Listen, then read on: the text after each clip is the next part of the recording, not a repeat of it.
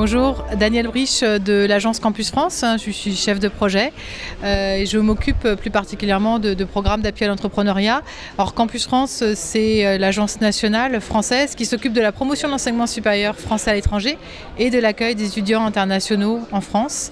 Euh, depuis plusieurs années, Campus France a souhaité aussi se positionner sur l'insertion professionnelle de ses diplômés internationaux et dans ce cadre-là a mis en place des programmes d'appui à l'entrepreneuriat en Afrique, donc pour des personnes qui sont aujourd'hui en France et qui ont un projet de création d'entreprise euh, dans les pays africains.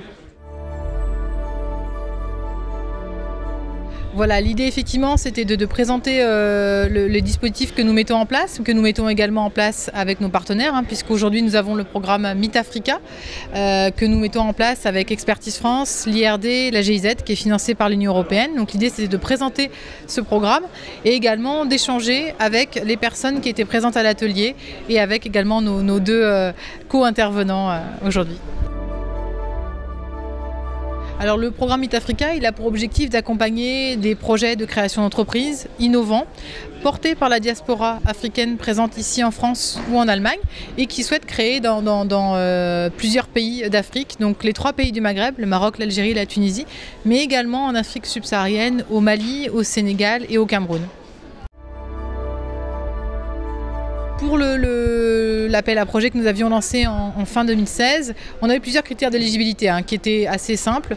Premièrement, que le, projet de création d'entreprise soit créé dans un des six pays cibles de, cette phase pilote que les entrepreneurs soient diplômés de l'enseignement supérieur français ou allemand et que ces projets soient innovants. Innovants au sens large, hein. ce n'était pas forcément des projets qui allaient donner lieu à un dépôt de brevet, mais plutôt qui étaient innovants aussi en termes de services apportés à la population par exemple.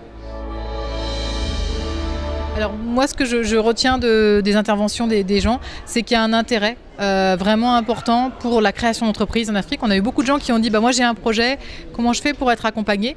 Donc je pense que c'est important aussi d'être ici aujourd'hui pour dire bah, voilà, il y a des dispositifs qui peuvent vous accompagner.